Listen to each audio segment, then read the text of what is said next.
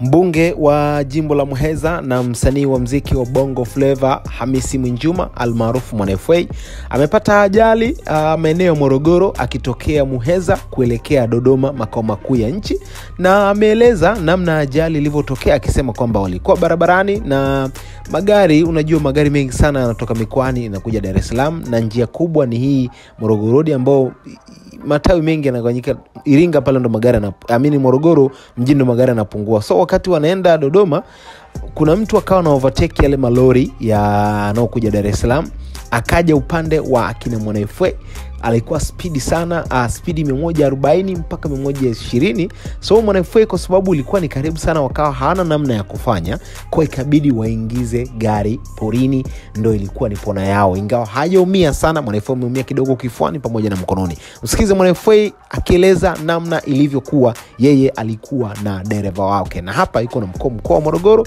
pamoja na mkuu wa wilaya ya Morogoro na yuko katika hospitali ya manispaa ya Morogoro msikize Mwana FA ni Telmando kutoka Bongo 5 endelea kuwa nasi kukupa update zote zinazohusu Mwana FA kumpata ajali. umepata ajali. Sasa tutaka tujue tu mazingira ya ajali yenyewe na hali ikoje kwako binafsi na watu ambao ulikuwa nao unaongozana nao kwenye gari yako. Kwa kwanza tulikuwa wawili, mimi na dereva wangu. Ah, tulito- tulitoka Muheza tukapita Msoga. Rais mstaafu alikuwa amefiwa na mtoto wa kaka yake, tukaenda mazikoni pale. Kwa hiyo tukawa tunatoka tunaelekea Dodoma. Mm. Kwa hiyo hii sehemu inaitwa Kengolowea. Kuna malori mengi yanaelekea Dar. Kuna mtu akawa ana overtake, kwa hiyo amekuja upande wetu na yuko speed sana, tunamwona kabisa hivi na speed yake ilikuwa kubwa kusema kweli, nafikiri kati ya mia arobaini mia sitini na tunamwona kabisa anakuja na hakukuwa na namna yote ya kumkwepa.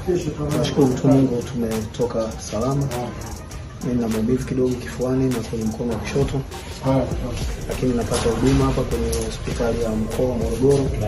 Kama unavyoona, mheshimiwa mkuu wa mkoa na mheshimiwa mkuu wa wilaya wako hapa kuhakikisha uh, kila kitu kinaenda kwenda sawa.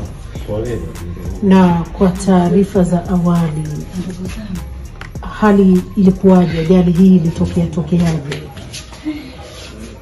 Nafikiri ndo nilichojibu hapa mwanzoni kwamba kuna mtu alikuwa na overtake, kwa hiyo amekuja upande wetu. Okay, umesema kwamba wewe unaenda vizuri lakini